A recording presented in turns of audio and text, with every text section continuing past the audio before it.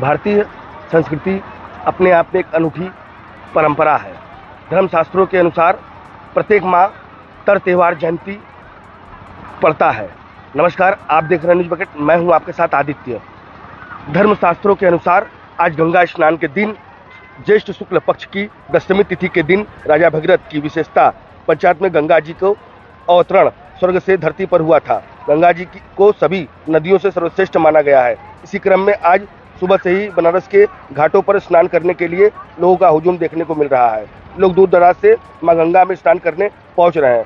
लोगों की आस्था है कि आज के दिन माँ गंगा में स्नान करने से सुख समृद्धि की उपलब्धि होती है। गंगा दशहरा, ज्येष्ठ शुक्ल पक्ष की दशमी को माँ गंगा भगवान शिव की जटाओं से उतर करके स्वर्ग से धराधाम पर पधारी थी और दस प्रकार के पापों से मुक्ति आज माँ गंगा सबको देती है।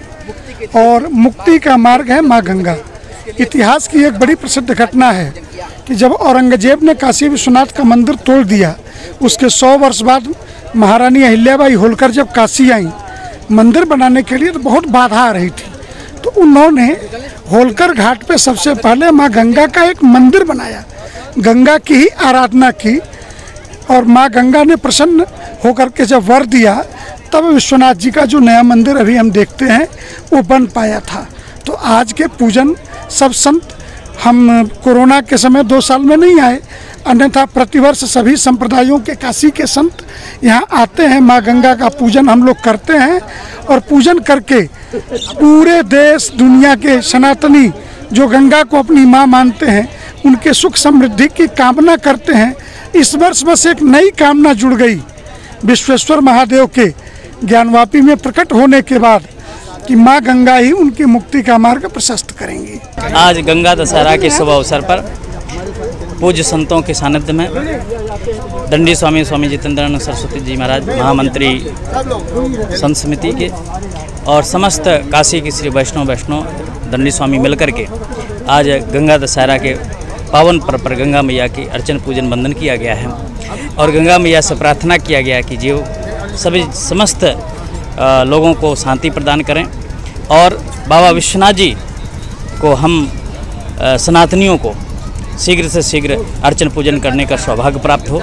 ऐसा गंगा मैया से हम सभी ने प्रार्थना की है, अर्चन बंदन की है, क्योंकि गंगा मैया पतित पावनी है और जन्म जन्मांतर के पापों को नष्ट करने वाली हैं। इसी के लिए हम लोगों ने आज गंगा मैया के अपने हर्जी लगाई और उनसे बंधन प्रार्थना की गंगा की दशहरा की मान्यता जो है कि ये ये हिंदू का बहुत बड़ा पर्व धर्म धर्म है समझे ना? इससे जो है कि बहुत लाभ होता है।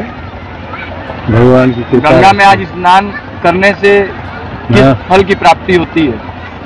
और मोक्ष की प्राप्ति होती है। मोक्ष की प्राप्ति होती है। हाँ। मोक्ष की प्राप्ति होती है। माना ऐसा जाता भी है कि सुनने में आया है कि भगीरथ जी का माता को लेकर कुछ हाँ हाँ। हाँ भा, भागीरथी जो है अपने कुल को तारने के लिए जो है कि भागीरथी जी अपना गंगा को लाए हुए हैं। हाँ तपस्या करके। हाँ। हाँ आज गंगा स्नान का दिन है बहुत महत्वपूर्ण के दिन है। आदमी गंगा जी में नहाने से बहुत बड़ा सी पुण्य प्राप्त करता है आदमी। इसलिए गंगा जी आते हैं नहाने के लिए। दूर दूर से काशी में आते हैं लोग नहाने के लिए।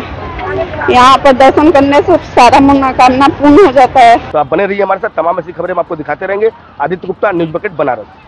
पेश है न्यूज़ बकेट हिंदी मासिक पत्रिका। पढ़ें इस महीने की पूरी खबर विस्तार से हमारे न्यूज़ बकेट की मैगजीन में। हमारी ई मैगजीन को मुफ़्त में पढ़ने के लिए अभी लॉग इन करें www.newsbucket.in पर इसके अलावा रोज की ताज़ा खबरों के लिए हमारे यूट्यूब चैनल को तुरंत सब्सक्राइब करें